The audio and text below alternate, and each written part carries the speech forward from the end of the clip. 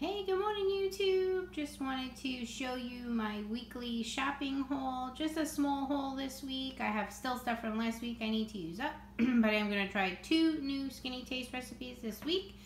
So I am making a Asian roasted striped bass. So I needed scallions, a lime, fresh ginger.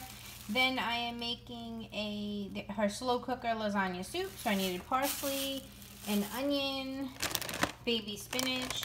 Then on the side of the striped bass, I'm going to put the snow peas. Uh, got some sweet Italian chicken sausage, low sodium chicken broth, some lasagna noodles. And with the fish, I'm going to do this brown and wild rice. One cup is six smart points.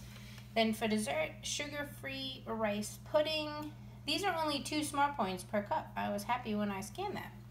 Then, uh, a little early for Christmas cookies, but I picked these up for my daughter for a school party.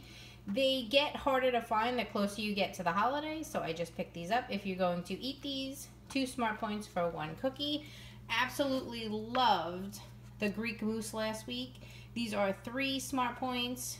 We are trying the strawberry shortcake this week and I got more of the salted caramel. It was really, really good. And then some part skim ricotta for the lasagna soup.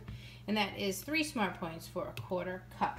So that is my haul this week, guys. Hope everybody has a great day and stay fit and fabulous. Bye.